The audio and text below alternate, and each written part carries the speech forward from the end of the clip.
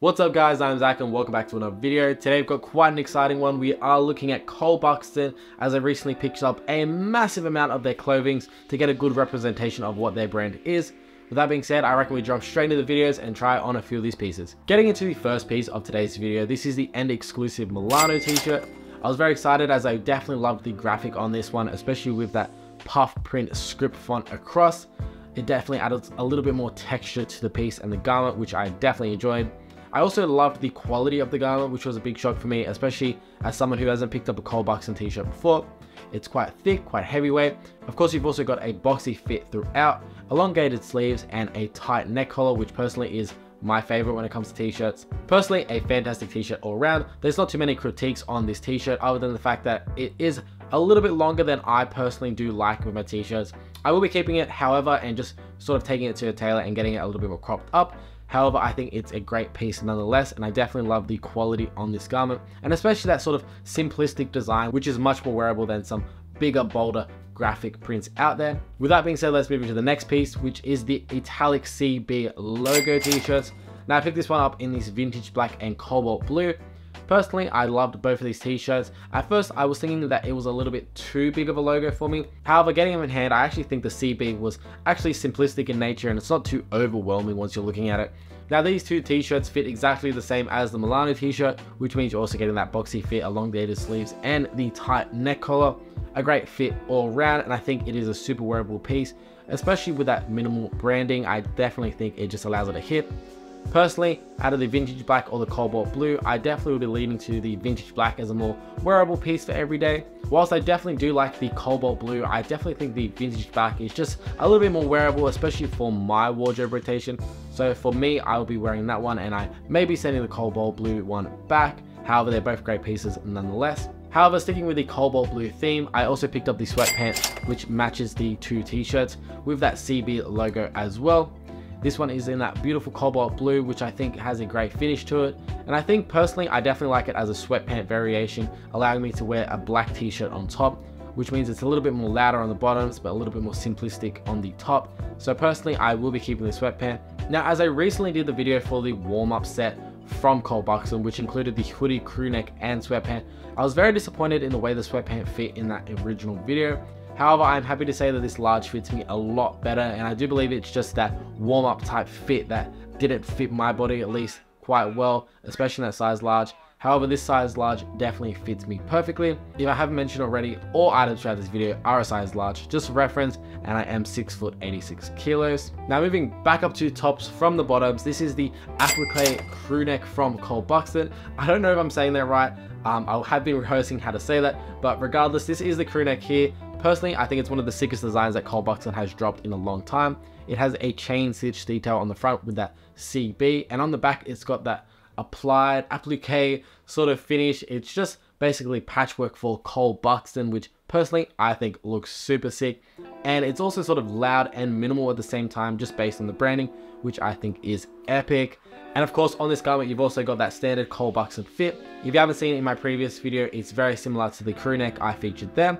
Now it does have a tight neck collar, elongated sleeves, and a cropped boxy silhouette, which personally I think is the best look when you're trying to pick up a crew neck, as it allows you to sort of accentuate your features. Now I think this one is super sick, it's sort of minimal in nature, but a little bit more louder in the back, which I think is super nice. Nonetheless, this is another great piece from Cole Buxton in terms of sizing, fit, quality, and overall design. I think they nailed this piece. With that being said, let's move on to the next one. So of course, all good things must come to an end, and unfortunately that came to an end when it came to the washed green hoodie. Now, I don't know what the problem was with this hoodie because honestly, Cole Buxton hoodies have fit perfectly so far from at least what I've tried on. So trying this one on, I was a little bit disappointed to see that it was quite oversized. It didn't really have this sort of boxy silhouette that I liked. It also didn't fit cropped at least as a hoodie. It fit quite baggy and oversized and Sure, there are a lot of baggy, oversized hoodies out there, so I don't know why anyone would pick this Cole Buxton fit. Unfortunately, it doesn't have that sort of cropped waistband that I like, and it also wasn't a tight waistband, which allowed it to just drape a little bit more, which personally made me like it less. I did love the wash green throughout this hoodie, however, I just didn't think it was a great fit, and personally, I also didn't like the draw cords that hung down from the hoodie, which means this was a hard pass for me and one that I'll be sending back. However, bringing the washed green hoodie back in a positive mindset and look, this is the zip up hoodie from Cole Buxton in that washed green, which personally was a big surprise for me, especially when I went from the washed green sort of warm up hoodie to this one, because this one fit exactly how I would have wanted that hoodie to fit. It was cropped, it was boxy, oversized, elongated in the sleeves, and the premium detailing throughout this piece was fantastic. They had big, thick, heavy duty zippers on the front, which also includes two zips which allow you to just sort of customize the fit however you like, which personally I love the option for. And you've also got CB branding on both the zippers, which just allows it to feel a little bit more premium. Now this hoodie is actually quite heavyweight as well, which sort of lends itself to the price. And personally, I think this is just a piece that Cole Buxton absolutely killed. For me, this is a 10 out of 10, and honestly, I wish the warm-up hoodie fit like this. I'm not sure why there was a discrepancy, but regardless, the zipper hoodie is super sick from Cole Buxton. And personally, I think I'm going to be looking at Cole Buxton to pick up a few more zip hoodies, especially considering that that's sort of what I'm missing in my wardrobe is zip up hoodies as I have quite a lot of throwovers, but not zipped. But getting into the second final piece from today, and this one is honestly probably my favorite piece that I picked up from Cole Buxton. Actually, scrap that. This is my favorite piece that I picked up all year long. This is the Cole Buxton overshirt in blue and gray. And man, this piece is perfection to a T. The detailing, the quality, the fit throughout this garment, honestly, epic. Now, first off, let's just get a look out of the way. It looks sick. The blue and grey is a fantastic combo on this. And of course, you've got that boxy silhouette once again. Now, I actually think I probably could have gone for a medium in this piece. I was actually quite surprised how big the large was. However, I still think it looked just epic regardless. Now, I don't know what to say about this piece other than it's just honestly perfection. I love the colorways, I love the fit of this hoodie. Now you've got that quilted lining which means it was super comfortable, super soft to the touch to wear. It's very boxy, allowing it to give a little bit more of a contemporary fit. You've got pockets on the side which means you can get comfortable and personally what I love about the oversized silhouette is that when you put your hands in, it just sort of fits perfectly. Like I'm not feeling like my hands are a little bit more up or a little bit less natural as I would with like a hoodie that has like a kangaroo pocket. I don't know if that sort of makes sense to you guys, but it honestly just fits perfectly. This piece is a 10 out of 10 for me. And yeah, this one's gonna be in my wardrobe rotation for a long, long time. And I can definitely understand why this is one of Cole Buxton's most popular pieces. And without a doubt, if you weren't sure if it was going to live up to the hype, it not only lives up to the hype, but exceeds it by far.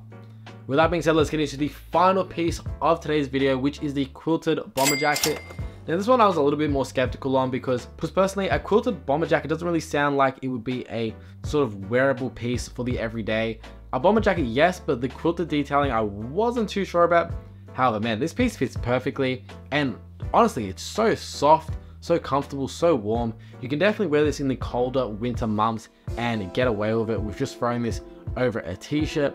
It is super sick. And of course you've got that premium sort of detailing throughout again, a heavy duty zipper and a contemporary fit throughout. Boxy, elongated in the sleeves and quite cropped down below. As you can see in the video, it looks sick, it fits sick. It is a great piece from Cole Buxton. And man, just to end the video on that, I think Cole Buxton honestly is just killing the game right now. And I know they sort of came out of left field and they sort of started with warm-up hoodies and zips and sweatpants, but they've come a long way and I think you've really got to appreciate the brand.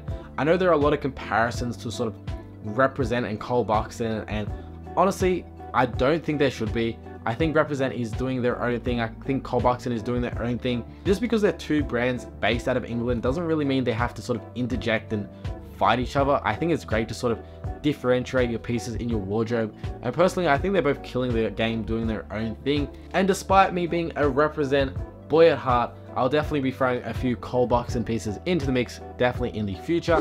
With that being said, guys, if you enjoyed today's video, feel free to drop a like down below. Also, feel free to leave a comment what was your favorite piece, if you have any sizing or questions regarding Cole Buxton.